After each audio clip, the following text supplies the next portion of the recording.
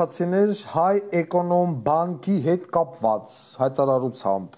ուրեմն գրում են post տերմինալով բանկի մասնաճյուղերում ինչ որ ոչ մի գտնվում են տերմինալներ, որոնք իբր թե